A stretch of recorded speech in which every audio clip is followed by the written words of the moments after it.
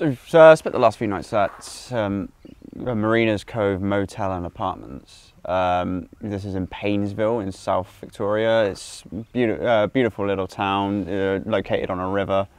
Um, the venue is really close to all the shops and amenities, some cafes and bars, uh, and close to the ferry to get uh, to get through to Raymond Island.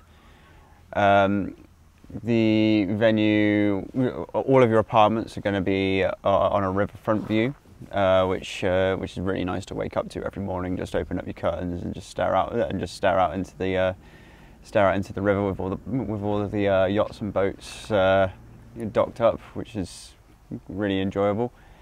the apartments are extremely luxury, you, ranging from rooms for, for private rooms for two, which can contain spas as well uh, ranging all the way up to apartments that can fit eight in, uh, but comfortably as well. Uh, and everything is very nicely presented, very neat, very stylish.